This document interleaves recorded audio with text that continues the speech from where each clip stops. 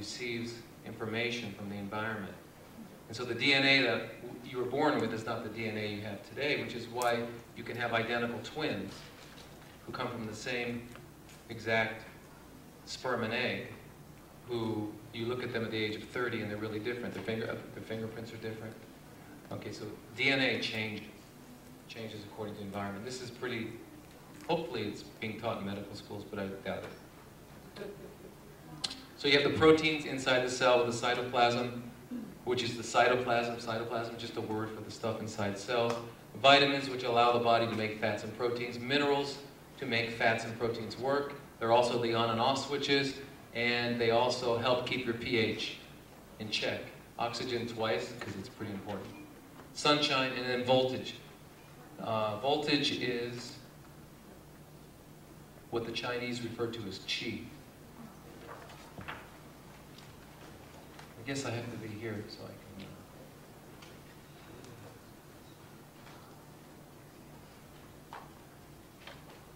Uh... Okay.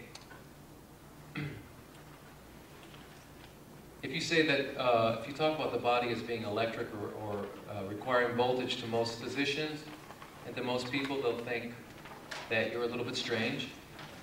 And yet, if I want to find out if your heart's working correctly, I'll do an EKG, which is how we measure the electrical activity of the heart. In the ICU, if we want to find out if the person's dead or not, we do an EEG, and we, and we look at the brain waves. Okay? When, those, when, those, when that electrical activity has stopped, then we can legally say the person's dead. Okay, well, if you just apply those, that same concept to every cell in the body, you'll understand it. Um, galvanic skin re responses, which they do with lie detector tests. Okay, so um, anyway, uh, the body repairing itself. Just real briefly, so you can get an idea. Rods and cones every 48 hours replace themselves. Skin, six weeks. Liver, about six months. Colonocytes, the cells in our colon, about three days. And the brain, I don't know.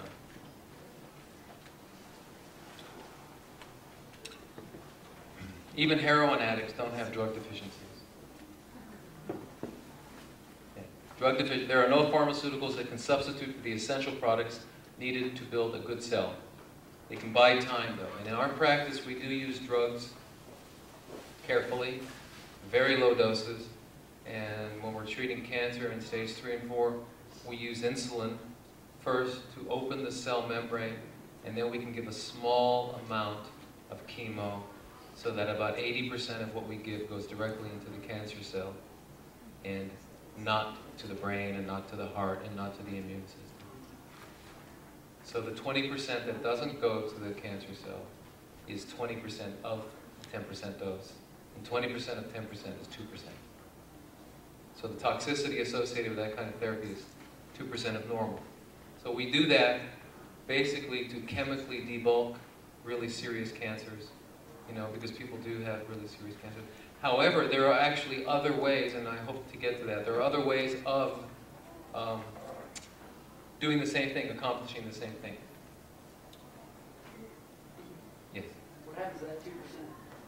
Well, it, will get it'll accumulate. So you have we we which we therefore you have to have a good detoxification program, right? Yeah. Yes. So we do that, you know, through lymphatic massage, rebounding, skin brushing, um, colonics, juicing, you know, all the things that one would do to detox. And as long as you have a good detox, detoxification program, and other things we do, intravenous bicarbonate,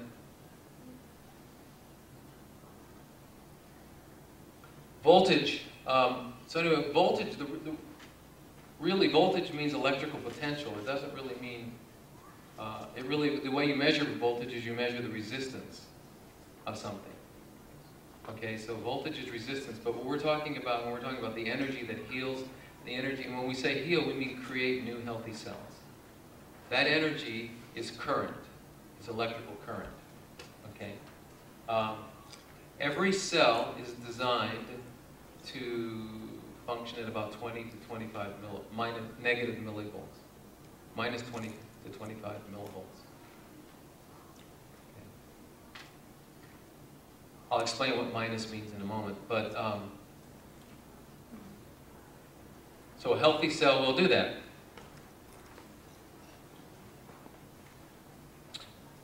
Teenagers, probably 30, even 40 millivolts, negative millivolts. They're bouncing around, you know, in, in spite of the fact that they just ate a pepperoni pizza.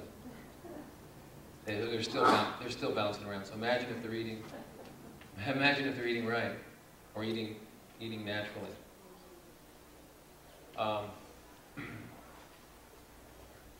when a cell, okay, so the, average cell is got a, a, voltage of minus 22 to 25 millivolts. Uh, if you get injured, you hit your finger with a hammer and it gets inflamed, you need to get up to minus 50 millivolts to heal it. Okay. If that, if that inflammation turns into an infection that gets in your bone, and you have an osteomyelitis, you have a deep-rooted infection, you need to get up to 70, minus 70 millivolts to heal it. And if you don't, you won't heal it.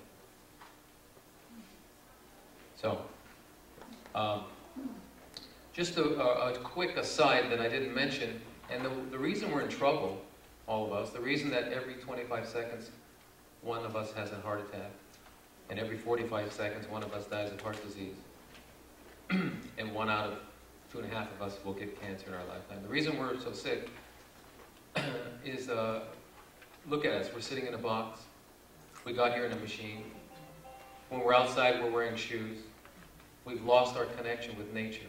We're no longer earthlings, we're mutants. We are hybrids. If you put us in the jungle, we would tremble with fear. We wouldn't even know what to do. we don't know how to live. 99% of what we know is irrelevant. All we know is how to exist in this artificial context. This make-believe thing that we're in. So, that's why we're so sick. So eating live food is our only connection with nature if you're living in an urban environment, unless you take your shoes off and take a walk in the park.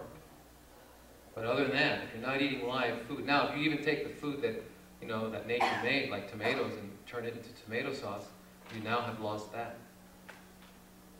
Okay? But I, that was just an aside.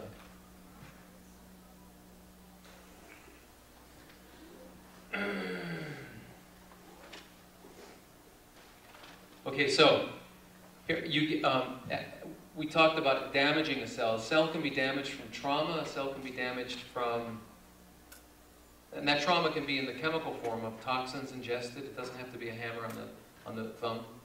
Um, and uh, you know, if anybody, if you want, I'll be happy to give anybody a copy of the PowerPoint so you take it. So you don't have to take notes if you want. Um, okay, so, um, and I'm going to repeat things over and over again uh, because uh, humans and dogs learn by repetition, right? Anyway, um,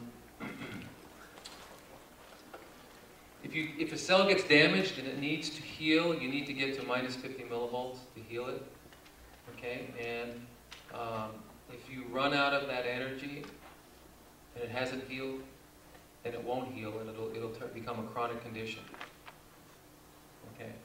Uh, when we get down to a minus 15 millivolts, we're still minus, I forgot to put the minus in there. When you get to a minus 15 millivolts, you're really, really tired. When you get to a minus 10 millivolts, you're sick and you probably cannot get out of bed. And that's probably most people with chronic fatigue and Lyme's disease, stage 4 Lyme's disease,